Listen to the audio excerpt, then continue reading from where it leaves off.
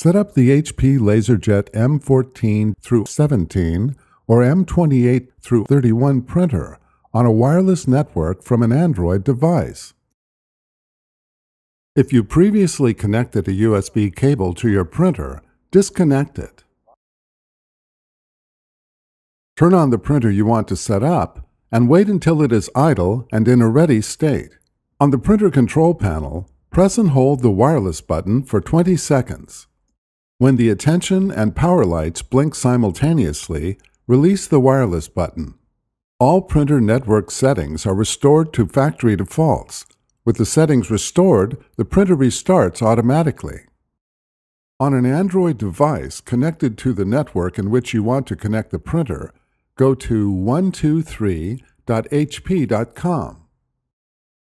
Tap Get the app and then follow the prompts to install HP Smart. Open the HP Smart app. Tap the checkbox to agree to the terms, and then tap Start.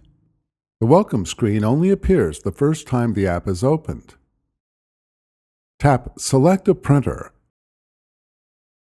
and then tap Continue. The app searches for and detects printers connected to the wireless network and printers that need to be set up. If no printer is found, or your printer is not in the list of detected printers, tap Set up a new printer or Add printer. Otherwise, select your printer model from the list that also has Setup in the name. If prompted, enter the password or passphrase for your wireless network, and then tap Continue.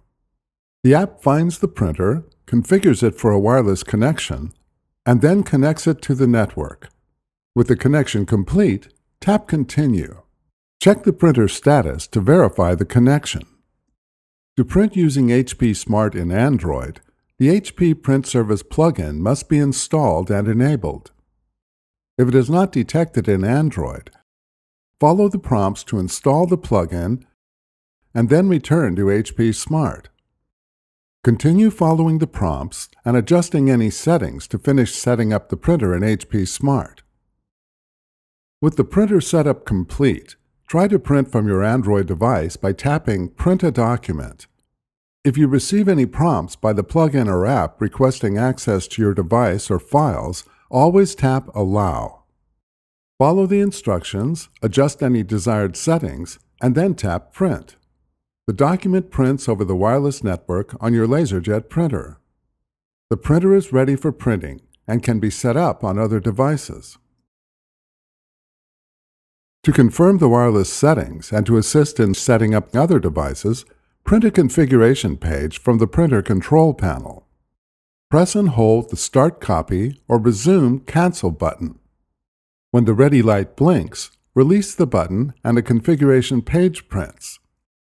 The configuration page displays the settings for your printer, including the IP address which can be used to set up your printer on other devices.